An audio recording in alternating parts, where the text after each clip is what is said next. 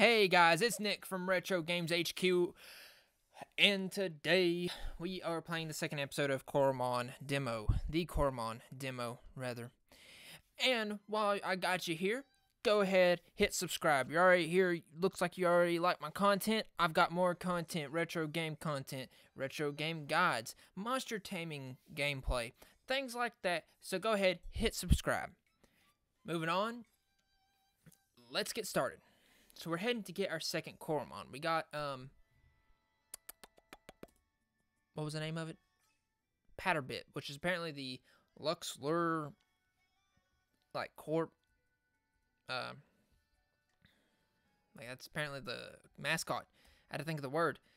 Alright, so let's see what they have to say. I'm working on the same unit as Larry. He's very smart, but he's such a weird guy. Last week he asked me to collect smelly mushrooms from Woodlow Forest, and then he used them to make soup. It was delicious, though. Did you already take the personality test in the Cor- uh, test in the Coromon lab? I designed it together with Nelson. Cool. Let's go into this build. I like the perspective. It's not. It looks weird if you don't realize that they're rising up. So this is Peter. Here at the Lux Solis, or the Lux Solis thing, whatever. Lux Solis campus, we research everything about Coromon. Nelson, for example, leads research and compatibility between trainers and Coromon. Nicholas. I chose Toruga. Toruga. Toruga, whatever. I was surprised when it had a different color than most others. Nelson said it it had to do with its potential, and that means my Toruga is a bit stronger than any other Toruga. Picking your first Coromon is so difficult. I mean, once you pick one, you can't just swap it for another, you know? But it'll be your buddy for life. My test results helped me a lot by recommending Cubzero for me, and we get along great. My Nibblegar takes a hit at full HP, it suffers less damage. The fully rested trait is very useful. Be sure to know which traits your Coromon have. Oh. Let's see what traits Patterbit has. Summary. Okay, so see. Potential, standard. Oh, even tells you the potential. That's nice. Lux Solis Campus, Feelers, Patterbit isn't hold on anything. Conductor, passive. This Coromon, or the Coromon charges when hit by an electric attack, increasing its speed. Okay, so it's like charges up. Seems like a bot made here. So Patterbit. That's cool. Alright, let's get a move on. Okay. Hmm? What's that smell? What? Oh, hello there. You must be our new colleague. Just give me a moment to finish this process. Right, that should do it. Now, where were we? Ah, yes, introductions. Welcome to the Coromon Lab. My name is Nelson, the inventor and creator of this state of art machine behind me. This is your first day as a field researcher, right? It's my job to show you with, uh, to match you with a Coromon. I can't wait. All right, well, let's get right to it then. Before we can start the scan, however, I'll need to gather some measurements. Well, let me see. Hmm? Oh. Okay. Yes, that's all I need for you now. I'll enter in these parameters, and then the machine will scan your brain waves. Uh, with the data we collect, we can advise you on the best possible Coromon choice. Please step into the matching machine to start the analysis. Okay, I don't want my brainwave scanned, but... Alright, please don't move during the scan or you might lose an arm or two. Or worse, destroy my scanner. I'm starting the first stage of the analysis now.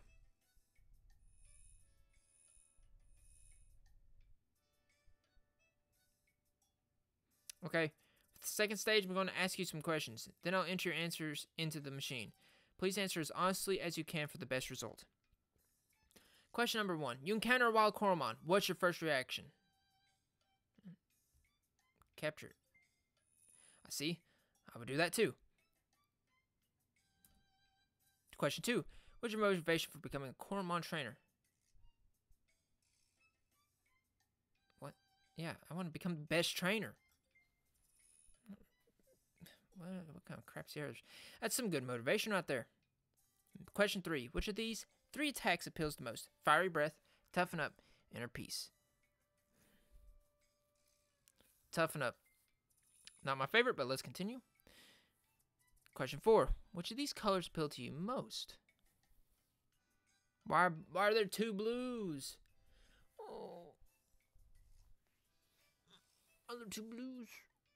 Mm. Navy blue.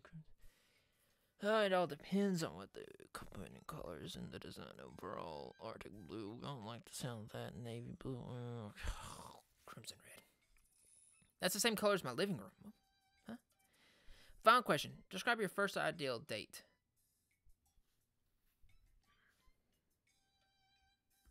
Museum tour. I don't see how museum tours romantic, other than just the inherent I'm on a date thing. All done. You can step out now. That wasn't so hard now, was it? Piece of cake. Good. Why don't you just go stand over there and I'll tell you the test results.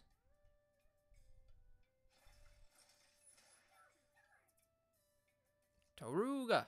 This Coromon's very strong. It loves to battle and can learn powerful moves. Nibblegar. A water type Coromon. This Coromon has a high endurance in battles and can outlast most other Coromon.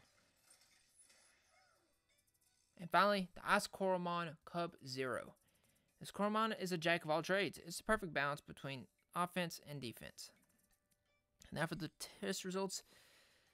The test results show multiple options would be a good match. Fire Coromon Toruga uh, would be a good match for you, with the Water Nibblegar surely getting you far. This makes it hard to choose, right? Why don't you take a closer look? Pick one you like the most.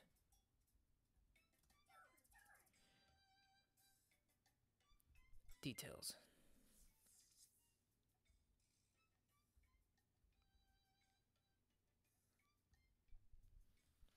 I love tortoises. I love turtles.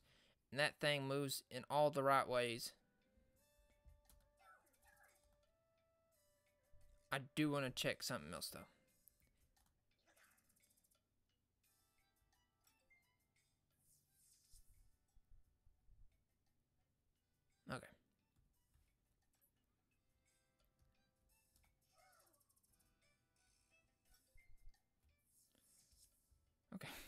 I'm gonna be honest, I wanted to make sure they weren't potential or perfect. Tor, tor. Char, char. I love tortoises. That's a good color. I'm picking Toruga. A name to Toruga? No. No, no. Uh, I, I don't know. I freaked out. Yes, cancel it. Bam. Great choice. I had a feeling that you'd pick Toruga. Before you head out, be sure to check which trait your Toruga has in the menu. Coromon variant traits. You fight with the Toruga will greatly depend on which trait it has. Speaking of which, you must be aching to try a battle with your new Coromon. Oh, uh, why don't we have a trial battle uh, at the training grounds? Take the manual first. It shows the type effectiveness of the different Coromon types in Velua. oh.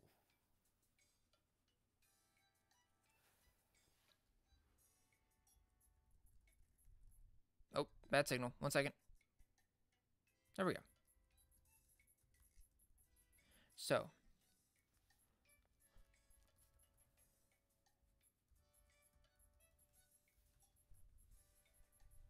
Alright, so hold on. Normal. 2 damage. None. 0.5. 0.5. 2.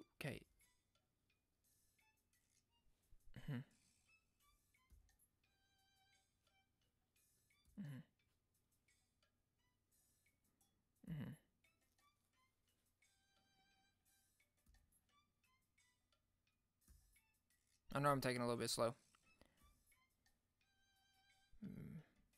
Magic. There's a magic top? That's two ghost. So you have normal, electric, ghost, sand, fire, ice, water, magic, foul, heavy, air, poison, cut. Okay. So fire, of course, is from heavy, fire, ice. Two damage damage from these two, but it can. Okay. Sounds good. Yep. Boom.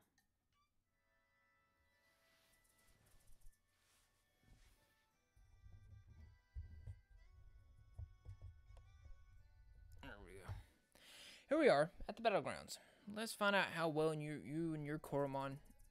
So I've brought my Nibblegar with me as the same level as your Toruga for a fair fight. You know, down on the skills of your Coromon to see a detailed overview. Make sure you try it out. Good luck. Ready? And go.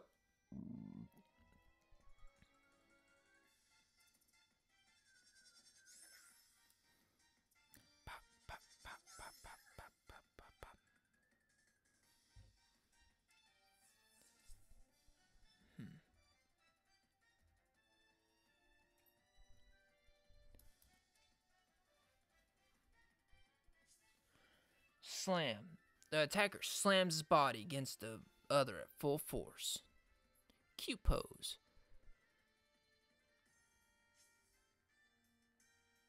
Of course, SP is up here, HP is down left.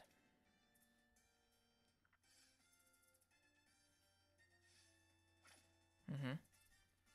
Chomp. I just don't want it. Oh, God. I've I don't want to lose my Toruga. Hopefully this doesn't make me lose it since it's just a training. Critical hit. Oh. Attack decreased.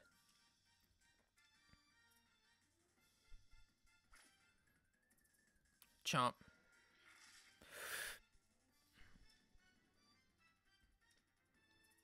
Cute pose.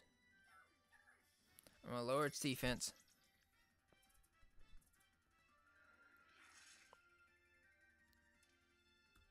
Let's get it. Slam. Critical hit. Yes, chomp. Okay. Wish we had the Pokemon Stadium announcer. Slam. Yeah. There we go. I don't like how close I was, so I have to keep in mind not to, though. Hey, 119. Up to level 6. Alright, so my SP goes up by 1. HP by 1. Speed by 1. All of them move up by 1. Sweet. Ooh.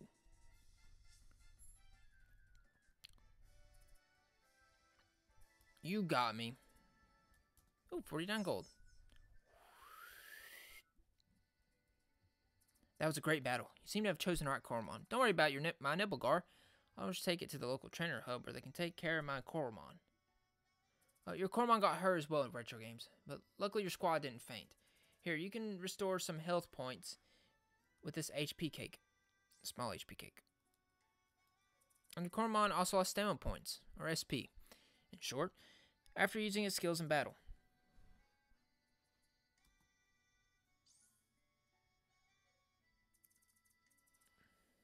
Can check the opponent's SP as well by pressing on the name tag.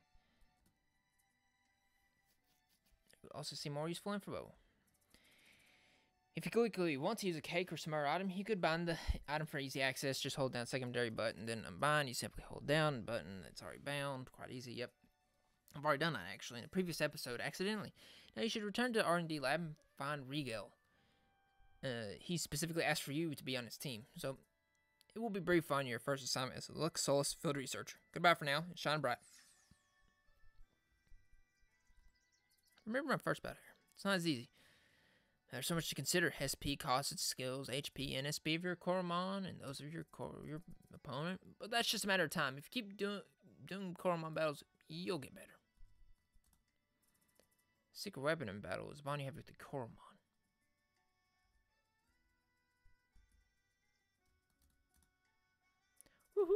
I just won my first, very first battle. I hope the others finish soon so I can get done practice battle.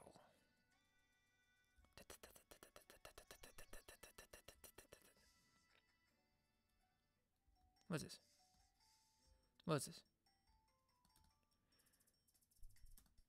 Oh yeah. Um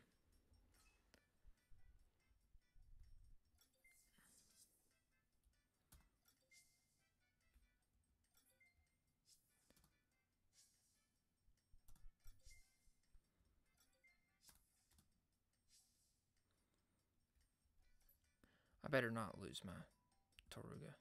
What? What? What? Oh. Thought the two was stopping me. Hello. How can I help you?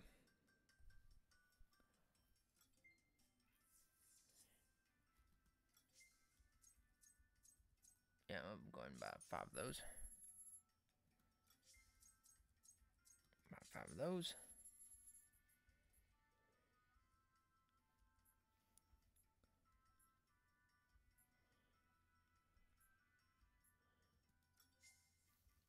Get two more of those. Oh, I don't need to. You know I need to do? Um, I'm buying items because the short amount of ones I'll have. I mean, a few like regular, like seven, that's fine. But I do need to buy these because I have, um, thanks to the insane setting I have on. Shine bright. Sure, bud. Let's go. Little dude's running like a maniac. What the? Oh, okay. Oh, is this a healing? Did I heal when I didn't have to? What? What? What's this? Is this what I think it is? It's 100% like a... That really looks like a trading thing. The trainer. Up, would you like to take it? Sure, why not? I could have just saved those. Oh, gold one. That's cool. What's this? Ooh, nice. Alright, let's keep going. Let's see what's up here. We're setting up training exercises for all Lux Solis field researchers so they can do their work more efficiently.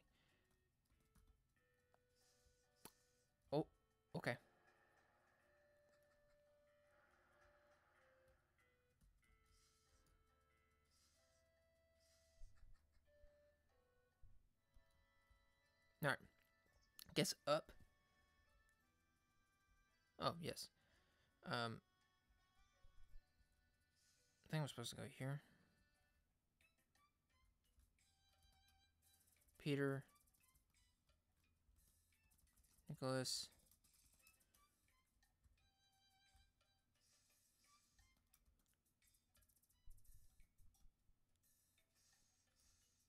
No, so I'm supposed to go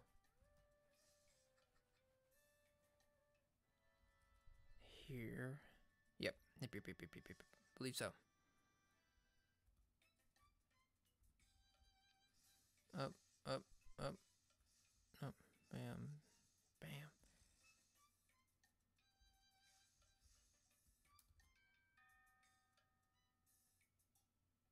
Ah, yes. Retro Games. I'll see you on the video feed. One moment, I'll come and get you. Welcome Retro Games HQ.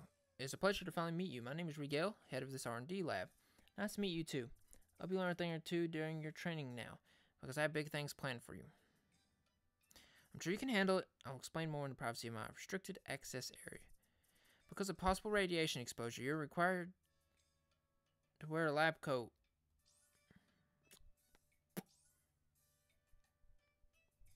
Follow me, please. I'm just, I just doubt a lab coat would cover radiation.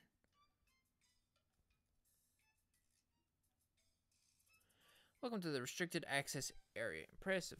No? What am I looking at? This here is what Project Chimera, oh Chimera, ooh, is all about. This is Titan Essence. This comes from a Titan? Indeed. Our team is dedicated on unraveling the uh, mysteries behind Titan Essences.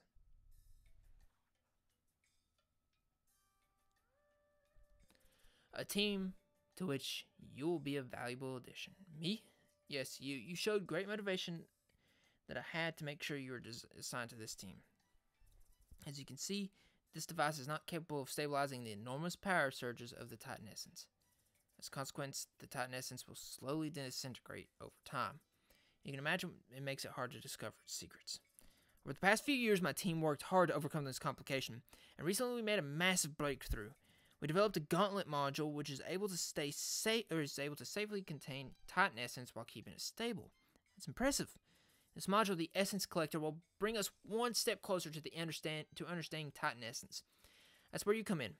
You will be equipped with the Essence Collector and assist us in gathering the Titan essences. I see. Uh, where could I find these Titan essences? Come, I'll show you. Titan essences are embedded within elemental titans, creatures of immense power. Six of them are known to be in Velua, and we've located all of them.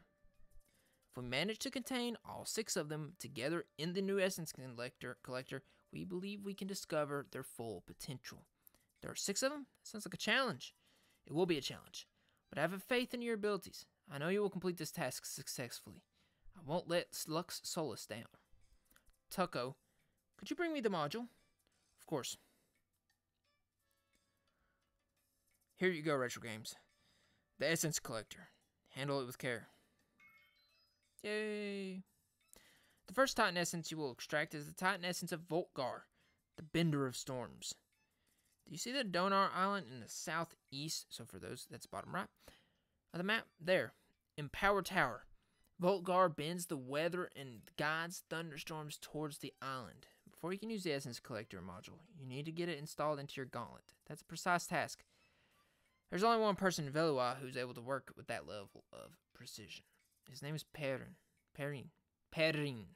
Everyone call him. A good friend of mine. He's working at a black as, as a blacksmith in Hayville. Havel. Perrin the blacksmith. Got it. How do I get there? Havel lies just beyond Radiant Park.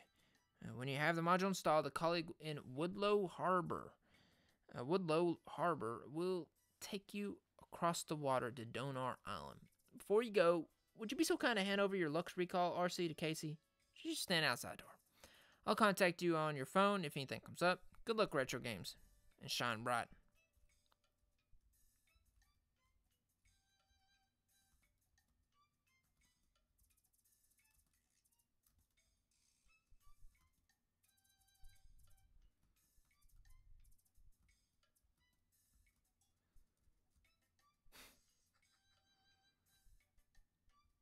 There she is. Hello, your case right? Uh, Regal asked me to hand this over to you. Thank you. Yes, Lux Recall technology is my field expertise. It's a marvelous phenomenon teleportation. It would take me some time to explain how it works, though. Why don't you just try it out for yourself? I have some regular uh, Lux Recall gadgets here for you. Since you're playing on insane difficulty, you're not allowed to use them. So take the gold they're worth instead find any others during your ventures, remember that you can sell them any shop. Speaking of shops, be sure to stock up on your supplies before you set out on the adventure. Better safe than sorry, right? Shine bright. Good idea. I'll go check out the shop. Shine bright. Oops.